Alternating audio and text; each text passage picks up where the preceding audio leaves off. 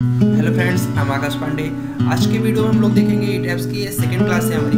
In this video will discuss about three D diagrams like three D structures like हम लोग जी plus three buildings को लेंगे और उसको डिज़ाइन करेंगे डिज़ाइन करके देखेंगे कि वो बिल्डिंग्स पास हो रही है या फेल हो रही है। तो उसके बारे में हम लोग डिस्कस करने जा रहे हैं ओके सो ये वीडियो थोड़ी सी लॉन्ग जाएगी। अगर आपको ई टैब्स अच्छे से सीखना है तो प्लीज़ आप यहाँ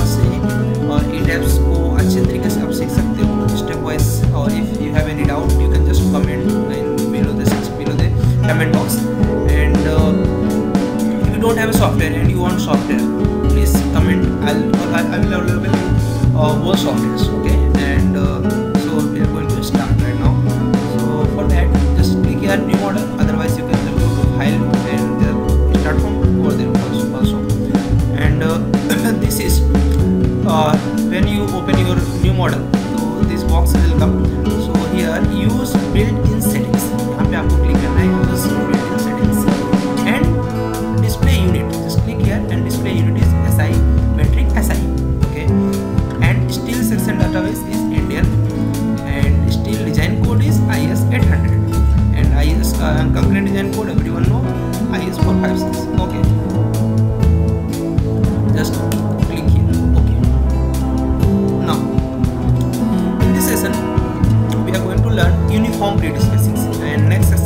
I will teach you how to make your own grid कोई complicated structure है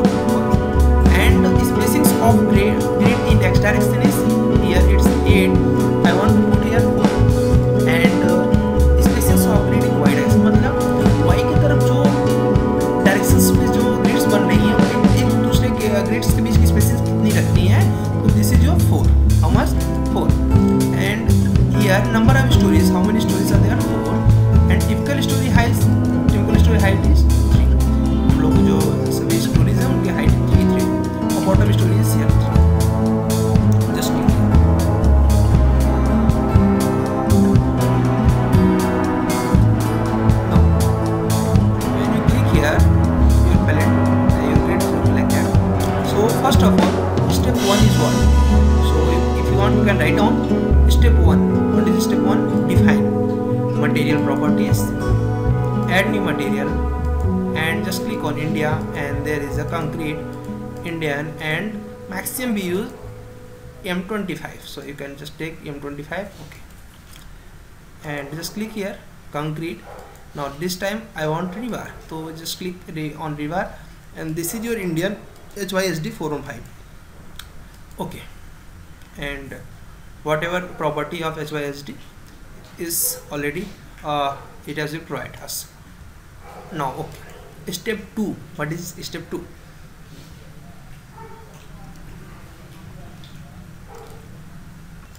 Come on.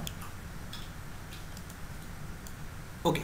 Now step 2 is just go to define and then section properties and frame section just click here on frame sections now this time I want my own concrete beam and concrete column so for that you can just click on add new property and आप यहाँ पे देख सकते हो बहुत ढेर सारे sections मिलेंगे now I want this one rectangle and uh, you can just click here uh, this is your beam so you can just provide here beam and you have a material m25 you can put over there and depth you can provide your depth how many uh, how much depth you want suppose i want 300 you can just click here 300 and then 300 after this reinforcement just click here and this is your beam so just click here beam and this is your longitudinal bar and this is your uh, configure ties ties means जो uh, जिससे हम लोग अपने beam को बांधते हैं okay now cover we are provided here cover everyone know uh,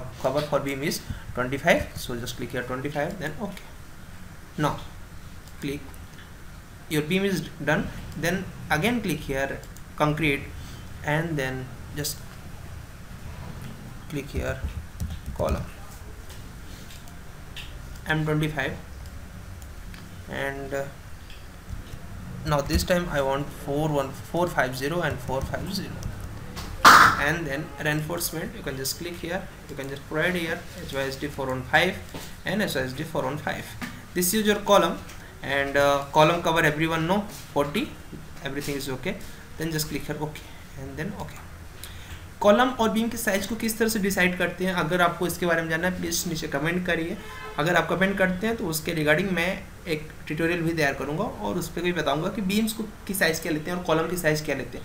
हमेशा column की साइज़ ज़्यादा होती है compare to beams okay now just click here your both are done step two is done step three is what define section property and slab section just if you want you can delete your old sections now you have slab one if you want you can modify this is slab one you can just provide M twenty five Mod uh, modeling tab you can take here membrane. And you can just define here one way two way. I'm not going to define this one in this video. And then i'll put here 150 slab thickness is 125 to 150 m now just click here ok okay. Your every material is done. Now step 3 is what? Take column from here. This is your quick draw column. Always remember quick draw column second thing is similar story दोस्तों next uh, video में मैं आपको discuss करूँगा similar story क्या होता है and uh, यहाँ पे देखिए ऑल स्टोरीज हैं ये क्या होते हैं और ग्रिड कैसे बनाते हैं। मीन्स अगर आप रियल लाइफ में स्ट्रक्चर करोगे तो ऐसा ज़रूरी नहीं कि आपके फोर फोर मीटर के ही सारे कुछ मिलेंगे। जैसे बाथरूम है दो मीटर का हो सकता है रूम है ढाई मीटर का हो सकता है साढ़े तीन मीटर का हो सकता है। सो so, अगर उस तरीके के यूनिफॉर्म कॉम्प्लिकेट यूनिफॉर्म स्ट्रक्चर्स नहीं होंगे और कॉम्प्लिकेटेड स्ट्रक्चर होगा तो कैसे बनाएँगे उसको हम लोग नेक्स्ट वीडियो में डिस्कस करना चाहेंगे। तो अगर आपको अच्छा लग रहा है तो प्लीज़ यार सब्सक्राइब करो तो आ, मुझे भी लगेगा कि नहीं आ, हमें करना चाहिए। So I will definitely do that just click here on property and then click from here column like that column is done now next is I want beam you can just click on beam and then मैं जल्दी आपको एक manual. Building के design करके भी दिखाने वाला हूँ जिससे आपको दोनों के रिज़ल्ट को कंपेरिजन आप कर सको तो आपको ज़्यादा प्रॉपर समझ में आ जाएगा। दिस इज़ योर फ्लोर अगर फ्लोर डालना है तो फ्लोर लिए this one and property this one like that ठीक है दोस्तों? सो so, हमने पूरे तरीके से स्ट्रक्चर को बना लिया। अब इसके बाद इस पर हम लोग लोड डालेंगे। ठीक है? तो लोड डालने के लिए हम लोग क्या करेंगे? जस्ट लोड डालने से पहले एक काम और बचा। देखिए, ऐसे में ब्लू लाइन यहाँ पे दिख रही है आपको। ब्लू लाइन जो है, ये टॉप पे है। हमको पहले इस पर सपोर्ट डालना है। तो सपोर्ट के लिए आप इसको नीचे ले जाइए स्ट्रक्चर को। इस तरीके से जैसे ही नीचे लेके जाएँगे तो हम यहाँ पहुँच गए। और यहाँ पर जाके आपको यहाँ पर वन स्टोरी करना है। और इन सबको सेलेक्ट करना है सपोर्ट्स को, क्योंकि यहाँ पे फिक्स सपोर्ट देना है। assign join restraint and this is fix support apply okay okay. Now next turn is for load so for load you can just go there and frame load distributed now suppose I'll take here for floor load is 2 kilonewton for beams तो if you want to select beam अगर आपको केवल beam को select करना है in that case you can just go to select and then select object type there is a beams select you can select all beams apply and then now next turn is for slab. So, assign shell load shell से जो हमारा slab होगा उस पर हमारा cell load पड़ेगा okay uniform and dead load I take from here one point five ये 1.5 लेंगे कहाँ से डेड लोड या टू लेंगे तो कहाँ से लेंगे? इसके बारे में भी आगे की वीडियोस में आपको बताने वाला हूँ कि किस तरह से डाइनलोड डेड लोड का कैलकुलेट करते हैं, किस तरह से लाइव लोड का कैलकुलेट करते हैं। एक एक को मैं आपको समझाने वाला हूँ। आज के वीडियो में एक स्टूडेंट की डिमांड थी कि उसको जस्ट प्रोसेस जानना था कि how to design a buildings okay so उसके लिए मैं ये वीडियोज़ तैयार किया। Just floor select apply live load for residential building is 2 kilonewton so i'll take from here 2 kilonewton is done. Knock and close. Okay. Next step is analyze check model. Just select all. Okay. Done. After this analyze run analysis. You can just enter your file name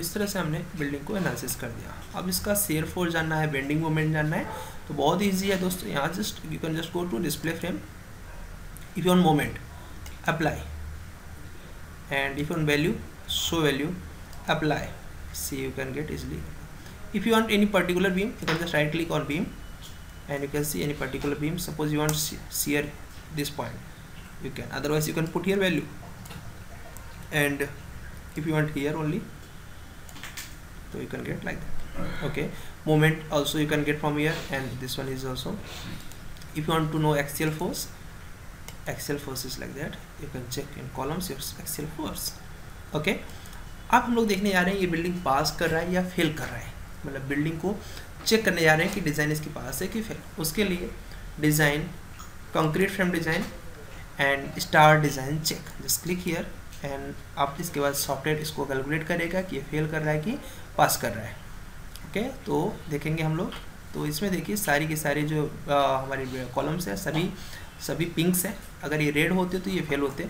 तो हम पहले इसको अभी state से sorry ई से पूछते हैं कि ये फेल कर रहा है कि पास कर रहा है तो ये बताएगा। डिज़ाइन पे जाइए कंक्रीट फ्रेम पे जाइए और यहाँ पे जाएँगे तो यहाँ पे देखिए वेरीफाई ऑल मेंबर्स पास्ट देखेंगे कि सही है क्या। देखिए यहाँ पे क्या लिख रहा है all concrete members are pass through the design means सभी डिज़ाइन पास हो रहे हैं ओके इसके डिटेलिंग के बारे में भी हम लोग चर्चा करने वाले हैं आगे। और किस तरह से हम लोग लोड कैलकुलेट करके इस पर डालते हैं वो भी हम लोग चर्चा करने वाले हैं। अगर आपको ये वीडियो अच्छा लग रहा है आपको ये समझ में आ रहा है please comment do comment and subscribe my channel and if you subscribe it definitely i'll teach you whole STAT Pro, SAF and many other structure softwares. Thank you so much for watching this video. Hope you like this